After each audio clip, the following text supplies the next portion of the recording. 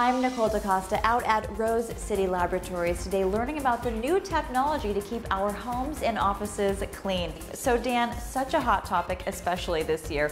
How can Rose City Labs help keep our homes and offices safe? Here at Rose City Laboratories, we've invested in new technology, and this new technology allows us to go out on site and in real time, within like five seconds, have results for each surface we go and swab. This helps ensure the safety and well-being of everybody that the cleaning services you're using or the cleaning equipment you're using um, is adequate and working. The FDA recommends numbers of like 250 to be able to be a food processing plant and stuff, and that's who really uses this technology a lot.